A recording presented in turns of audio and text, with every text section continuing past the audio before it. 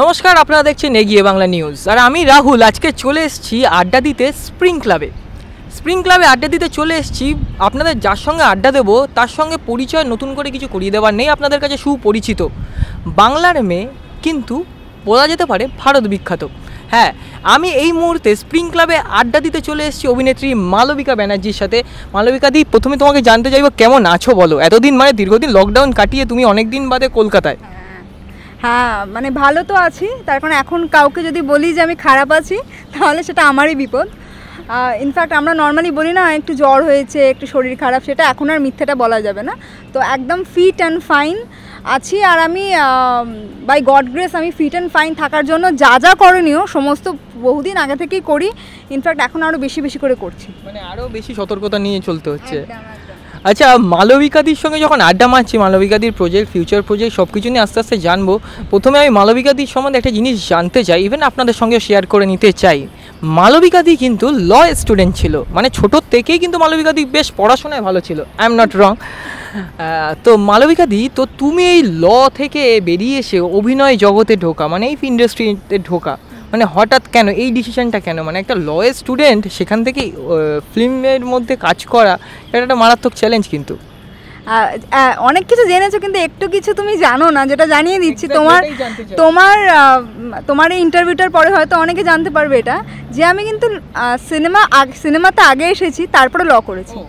Yes প্রথমে আমি যখন পড়াশোনা করতে করতেই সিনেমাতে কলকাতা সুন্দরী হওয়া এবং তারপরে অফার পেয়ে আমার সিনেমা করা and then in between normally প্রথম চান্সটা আমি খুব তাড়াতাড়ি পেয়ে যাই বাই গড গ্রেস যে ভগবান আমাকে কি ভেবেছিল যে আমি সিনেমায় হয়তো আমার প্রথম চান্সটা মিস্টার ফান্টুসটা খুবই আমার লাকিলি পেয়ে যাওয়া।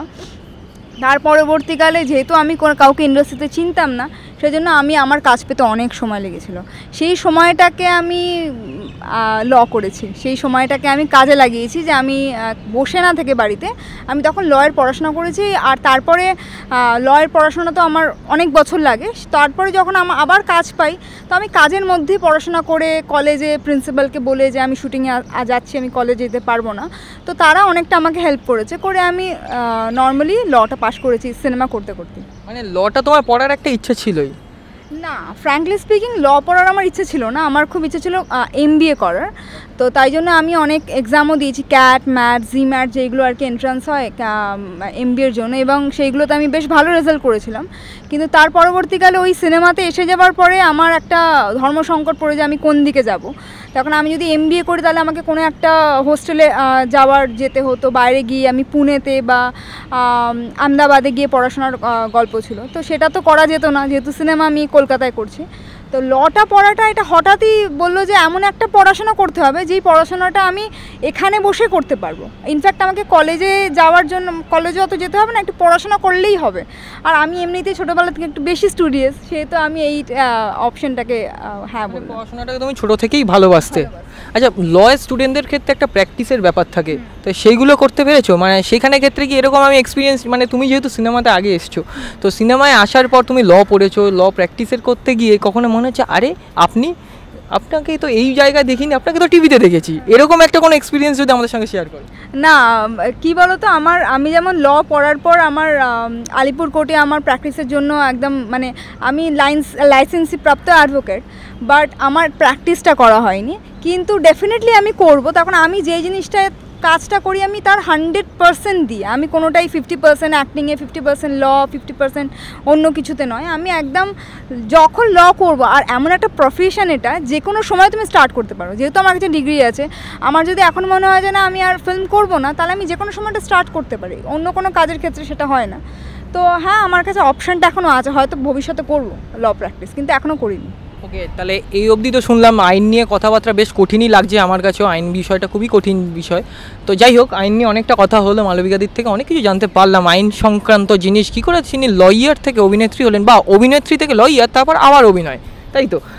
তো দিদি, তোমাকে আমি যেটা জানতে চাইব যে তোমার শুরুটা তো বাংলা থেকে বেঙ্গ- বেঙ্গল থেকেই শুরু হয়েছে জার্নিটা তোমার। তো তারপর মুম্বাই যাওয়া, তারপর একে একে পরের পর কাজ করা। তো হাউ মানে কতটা চ্যালেঞ্জিং ছিল জিনিসটা তোমার কাছে? দেখো চ্যালেঞ্জ তো কলকাতাতেও ছিল ডেফিনেটলি আর সব ক্ষেত্রে এখন সবাই আমাদের কলকাতার মানুষরা, বাংলার মানুষরা তো অনেক বেশি ট্যালেন্টেড প্রচুর ট্যালেন্ট ইনফ্যাক্ট মুম্বাইতে গিয়েও আমি দেখেছি প্রচুর বাঙালি ওখানে কাজ করছে। অ্যান্ড দের রেসপেক্ট ট্যালেন্ট বম্বেতে। ব্যাপারটা হচ্ছে, ওখানে গিয়ে চ্যালেঞ্জটা ফার্স্ট হয়েছিল যে আমাদের হিন্দি বলা। আমরা নর্মালি এখানে যে হিন্দিটা বলি, সেটা আমরা হয়তো ভাবি আমরা খুব ভালো হিন্দি বলছি। বাট ফাইনালি যখন আমরা এমন একটা জায়গায় যাই, যেখানে শুধু হিন্দিটাই কথা, হিন্দিটাই ডায়ালগ হিন্দিটাই সব কিছু করতে হবে হবে। সেক্ষেত্রে ওরা আমার অনেক ভুল ধরেছিল। আপকা ইয়ে সেই নেই ইয়ে রমে আপকা, আপ লোক বেঙ্গলি লোককা রমে প্রবলেম হতাই হ্যাঁ তো এই প্রবলেমটা হয়েছিল। তার জন্য আমি ওখানে অনেকগুলো নীরাজ কবির ওয়ার্কশপ করেছি। তারপর আমি ওখানে অ্যাক্টিং স্কুলেও অ্যাক্টিং শিখেছি। যেহেতু ইংলিশ প্রোনাউন্সিয়েশনের জন্য আরও অনেক কিছুর জন্য। তো প্রপারলি আমি একটা ট্রেনিং নিয়ে সেখানে আমি গেছি। আমি এরকম নয় যে আমি আজকে আমার হঠাৎ ইচ্ছে করল যে আমি কলকাতার কাজকর্ম ছেড়ে দিয়ে আমি গেলাম। আমি কলকাতার কাজকর্ম তো ছাড়তে পারব না। নিশ্চয়ই আবার যদি কোনো অফার আসে, আমি ডেফিনেটলি করব। ভালো কাজের অফার তো বম্বে থেকে কেন, বিদেশ থেকে লোকে এসে কলকাতায় কাজ করে দিয়ে যাচ্ছে। অফার এলে ডেফিনেটলি করব। কিন্তু ওখানে গিয়ে চ্যালেঞ্জটা কি যে, ওখানে এত কম্পিটিশন ওখানে প্রতিটা দেশের প্রতিটা রাজ্য থেকে মানুষরা আসছে তাদের ট্যালেন্ট দিয়ে ইনফ্যাক্ট বিদেশ থেকে লোকেরা আসছে। সেখানে এত কম্পিটিশন যেখানে আমি এখানে বলতে পারব না যে আমি না কলকাতায় না দশটা সিনেমা করে আমি এখানে এসেছি। They don't bother at all তুমি দশটা করে আসো কি কুড়িটা করে আসো? কিন্তু তুমি এখানে কি কাজ করেছ? আর এখানের জন্য তুমি এলিজিবল কিনা? আর ইউ ট্যালেন্টেড আমার কাছে চারটে ছেলে আছে, তাদের মধ্যে তোমার ট্যালেন্টটা কত বেশি? সেটা অনেক বেশি চ্যালেঞ্জিং সেখানে। অনেক চ্যালেঞ্জের শিকার হতে হচ্ছে আর হচ্ছে বলেই হয়তো অনেক কিছু শিখতে পারছি। আর নিজের ভেতরকার অনেক কিছু জিনিস যেটা আমি নিজে জানতাম না আমি এটা পারি সেটা ওখানে গিয়ে করতে পেরেছি। নিজেকে অনেক বেশি নিজের প্রতি অনেক বেশি কনসেন্ট্রেট করতে পেরেছি অনেক বেশি নিজেকে ভালোবাসতে শিখেছি কাজটাকে বুঝতে শিখেছি। এখানে কাজ করেছি ডেফিনেটলি ও কলকাতা তো ও বলে দেবো আজকে না এটা পাচ্ছি না আমাকে এটা না শিখিয়ে নাও। আর ওখানে না একটা ইয়ে থাকে যে না আমাকে এটা শিখে যেতে হবে। আমাকে এই কাজটা বদলে একদম বদলে তখন ওখানে কেউ আমার রিলেটিভ নয় কেউ আমার কাকা জ্যাঠা নয় কেউ আমার মানে মানে আমাকে কেউ বলছে না তোমাকে আজকে আমি মেয়ে বানালাম তোমাকে আমার বোন বানালাম বা ঠিক আছে ঠিক আছে চ এরকম কিছু নয়। ওখানে কি কাজটা তোমাকে মানে তুমি যদি ভুল করো তুমি যদি ভুল করো তুমি তোমার আজকে কাজ শেষ তুমি কালকে বাড়ি চলে তখন তোমার জায়গায় আরেকজন এসে যাবে। আর তুমি যদি ঠিক কাজ করো তাহলে ওরাই তোমাকে বলবে যে ইয়ে লড়কি আচ্ছি কাম করতে হবে ইসকো সামনে বারে কামে মিলে না। ওখানে এরকম একটা ব্যাপার। আমি তুমি বলিউডের প্রসঙ্গ যখন উঠল, সম্প্রতি আমরা সুশান্ত সিং রাজপুতকে হারিয়েছি, আমরা মানে সেই দুঃখটা এক্সপ্রেস করার কোনো জায়গা নেই এখনও আমরা অনেকেই মর্মাহত, আশা করি তুমিও। তো এই বিষয়টা সামনে আসার পর, সুশান্ত সিং রাজপুতের মৃত্যু হওয়ার পর, একটা বিষয় বলিউডে মানে একটা শব্দ যেটা কিন্তু যেটা কিন্তু খুব পরিচিত না। কিন্তু এখন এই শব্দটা বেশ আমাদের মধ্যে পরিচয়, পরিচিতই পেয়ে গেছে, সেটা হলো নেপোটিজম। তুমি একজন বাঙালি মেয়ে, যে কলকাতা থেকে গিয়ে বলিউডে পা দিয়েছ, কাজ করছ মানে যথেষ্ট ভালো কাজ করেছ তুমি, কাজ করছ ইনফ্যাক্ট তো সেখানে এই জিনিসটা স্বীকার কখনো বা স্বীকার বলব না, তোমাকে কোনো দিন ফেস করতে হয়েছে? নেপোটিজম। আমি প্রথমত সুশান্তের ব্যাপার নিয়ে আমি এখনও যখন নিউজ পড়ি আই আই এম শকড এখনও যে মানে কি বলব, সবাই নিশ্চয়ই তোমরা সবাই তো সুশান্তের কাজ দেখেছ। আর আমি তাকে পার্সোনালি চিনতাম না, কিন্তু নিজেকে ফিল ভালো লাগতো আর কনফিডেন্স পেতাম যে একটা বাইরের ছেলে হয়ে যদি সে এত বড় একটা স্টার হতে পারে, তাহলে ডেফিনেটলি আরও আমার মতো হয়তো আরও অনেকেই ট্যালেন্টেড আছে যারা হয়তো সেই স্বপ্নটা দেখছে। আজকে আমি সাইফ আলি খানের মেয়ে নয়, আমি আজকে বনি কাপুরের মেয়ে নয়, আমার পেছনে কোনো বাবা নেই, আমার পেছনে মা নেই, আমার বাবা প্রডিউসার নয়, কেউ মানে আমার বাবা কোনোভাবেই কোনো আমার বাবা কাকা জ্যাঠা না ইন্ডাস্ট্রি রিলেটেড নয়। কিন্তু এই নেপোটিজম বলছো আমি এটাকে ফার্স্ট অফ অল আমি এটাকে স্বীকার করছি যে ডেফিনেটলি নেপোটিজম আছে বলিউডে আর সেই জন্যই হয়তো আজকে অনেক তারকার ছেলেমেয়েরা অনেক অনেক অনেক কম পরিশ্রমে বেশি প্রিভিলেজ পাচ্ছি। বিকজ তারা ছোটোবেলা থেকে জানে যে আমি হিরোইন হব তার কারণ আমার মা হিরোইন আমার বাবা প্রডিউসার আমি চাইলে হিরোইন হতে পারি। তার কারণ কিন্তু আমরা কিন্তু সেই হিরোইন হওয়ার জন্য আমাদের মধ্যে মধ্যে সেইভাবে আমাকে প্রিপেয়ার করার মতো কেউ নেই। মানে আজকে আমি চুলটা কীভাবে বাঁধবো কি আমাকে মেকআপটা করলে কীভাবে ভালো লাগবে সেটা কিন্তু তারা অলরেডি প্রিভিলেজ তারা ছোটোবেলা থেকে দেখছে প্রেস কি? তারা ছোটোবেলা থেকে সেটা ফেস মানে করছে। limelight-টা তারা জানে। তারা জানে তার সে যখন একটা ফিল্ম ইন্ডাস্ট্রিতে আসছে অলরেডি সে তাকে সারা মানে ইন্ডিয়া জানে যে এটা হচ্ছে এর সিনেমা আসছে। আজকে সেই মানে আমি একটা একটা লাইন খুব ভালো লেগেছে। কাঙ্গনা রানাউতের একটা ইন্টারভিউ তে আমি শুনেছি যে আমরা যে যে পরিচিতিটা আমরা যারা আউটসাইডাররা দশ বছরে প্রাপ মানে পাই দশ বছরে যেটা আমরা পাই সেটা একটা কিড সেলে মানে সেলেবে কিড তারা কিন্তু সেটা একটা সিনেমাতেই পেয়ে যায়। তাই নয় কি? আমরা দশ বছর ধরে কাজ করে একটা নাম করি যে আমি আজকে এটা হয়েছি। আর সেটা একটা সেলেব কিট একটা প্রথম ছবিতেই পেয়ে যায় যে, আরে এর সিনেমাতে বেরোচ্ছে। তো দিদি, তুমি যেটা বলছিলে যে নেপোটিজমের শিকার হতে হয়েছে বা এই টাফ একটা টাইম কাটাতে হয়েছে, তুমিও কাটিয়েছো, তো সেটা দিয়ে আস্তে আস্তে ওভারকাম করে কাজও করছ, তো এটা একটা দিক গেল। তোমার এবার একটু অন্যদিকে আমি আলোকপাত করি, যে তুমি ফিল্ম ফিল্মফেয়ারে পারফর্ম করেছ স্টেজে অত বড় স্টারকাসদের সামনে, এত লোক, এত জমা সমাগমের সামনে পারফর্ম করার এক্সপিরিয়েন্সটা যদি আমার সঙ্গে একটু শেয়ার করো। যথারীতি যে, যেভাবে তুমি বলছো, অতটাই সুন্দরভাবে আমি এক্সপিরিয়েন্স করেছি। বিকজ সত্যি ফিল্মফেয়ারে স্টেজে পারফর্ম করা মানে আর আমাদের সত্যি বাংলার জন্য একটা গর্বের ব্যাপার। তখন খুব কম মানুষই ওরকম স্টেজে চড়তে পারে। একটা ইনফ্যাক্ট আমি তো নিজেকে অনেক প্রিভিলেজ মনে করি যে আমি খুব তাড়াতাড়ি আমি ফিল্মফেয়ারের স্টেজে গিয়ে পারফর্ম করতে পেরেছি। আর সেই এক্সপিরিয়েন্সটা একটা ম্যাজিক্যাল মোমেন্ট যেটা আমার কাছ- কাছেও মানে যখন আমি স্টেজে উঠেছি, আমি পারফর্ম করেছি, সেটা একটা, আমি আমি আমি ওই সময়টা আমি ফিল বুঝতে পারিনি যে আমার সাথে কী একটা হয়ে গেল যেন। বাট ইটস রিয়েলি যখন আমি টিভিতে দেখি, দেখ, দেখলাম ওইটা, ওই ফিল্মফেয়ারের পোর্শনটা আমি দেখছি সবাই সবাই আমার গানের সাথে মানে ক্ল্যাপ করছে, লোকে মাথা এরকম নাড়াচ্ছে, লোকে ক্ল্যাপ করেছে। সো ওই জিনিসটা আমার কাছে মানে টিভিতে দেখে আমার যে এক্সপিরিয়েন্সটা হয়েছে সেটা সেটা তো অনবদ্য। আর স্টেজের ওপর যখন আমি উঠেছি, আমি পারফর্ম করেছি, সেটা আমার আমার কাছে, আমাকে ভগবান করিয়ে নিয়েছে।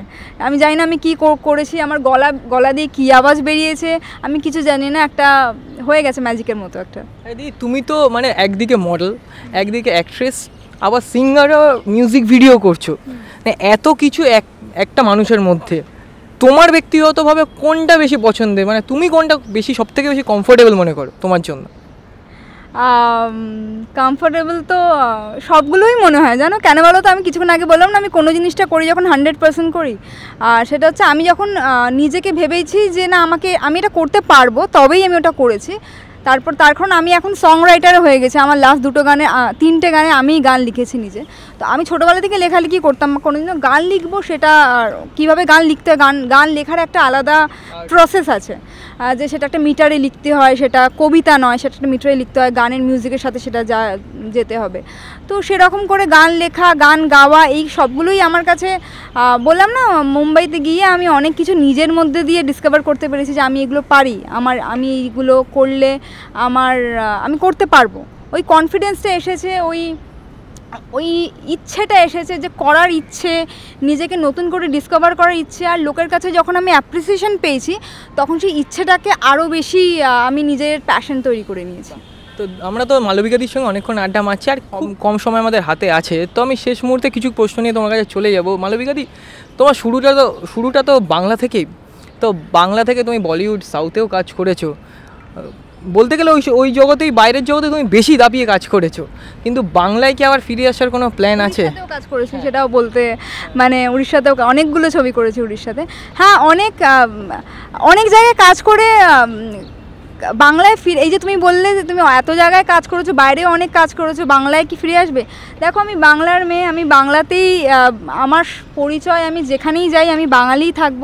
আর বাংলা কাজ করার জায়গাটা আমার সব থেকে বেশি কমফর্ট জোন কিন্তু আমি নিজেকে সবসময় নতুন করে আমার একটা ইচ্ছে আছে যে নিচ্ছে, আছে বা থেকে যাবে সারা জীবন, যে আমি নতুন নতুন কাজ করতে ভালোবাসি, আমি নতুন ভাষা শিখতে ভালোবাসি। যেমন আমি সাউথ ইন্ডিয়ান ভাষা শিখেছি কিছু কিছু।